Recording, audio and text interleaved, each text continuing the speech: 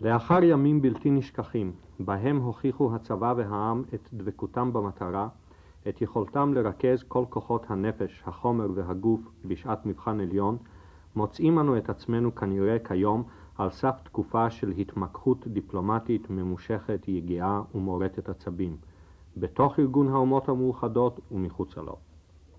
ידידים וידידים במרכאות יתחילו מן הסתם להטיף עתה לישראל מוסר בינלאומי, וגם לפנות אל רגש האבירות אשר מן הראוי, כך יאמרו, שיהא פועם בליבו של המנצח. עוד ידרשו מאיתנו בוודאי לסגת כאן, לוותר שם.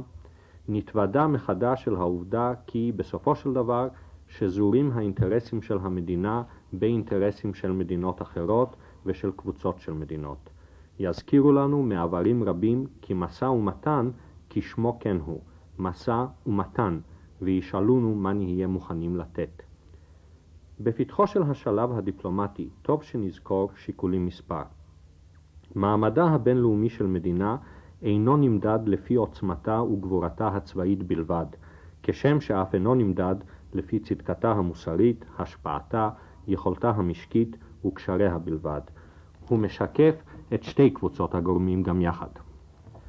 לאחרונה דומה היה לרגע כי מעמדנו בזירה הבינלאומית נתערער, משום שנחלש אחד משני הגורמים עליהם המעמד נשען, גורם הכוח.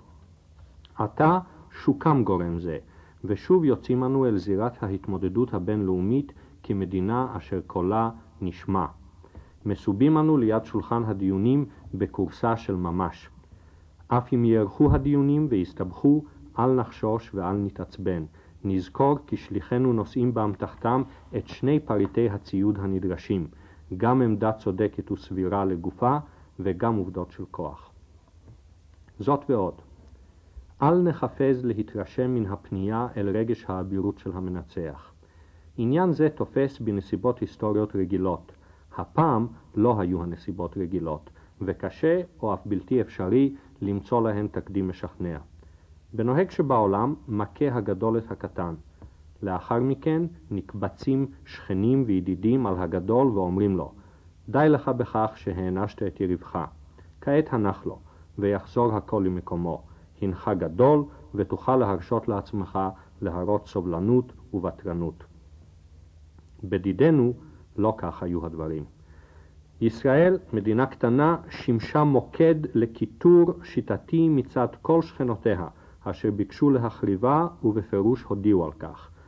היא השיבה מלחמה שערה להפר את מזימתן התוקפנית. האנלוגיה של נער מגודל ומגושם שהיכה ילד חלוש ועדין אינה עניין לכאן כלל ועיקר. יתר על כן.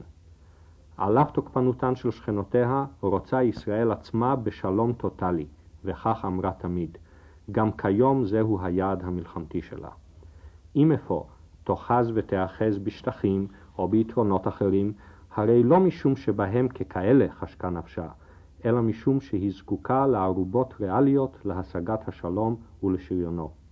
ניסיון מר, ממושך ושיטתי, לימדנו כי ערובות פחותות מאלו, ובייחוד הבטחות הניתנות על ידי האו"ם או על ידי השכנים, אינן מספיקות. לכן נצפה עתה מן הדיפלומטיה הישראלית לגלות אותה מידה של יעילות, תושייה, ואם נחוץ אף עקשנות, אשר תשקף מחד גיסא את הישגי הימים שעברו, ומאידך גיסא את כיסופנו להסדר של שלום יציב ומקיף בימים יבואו.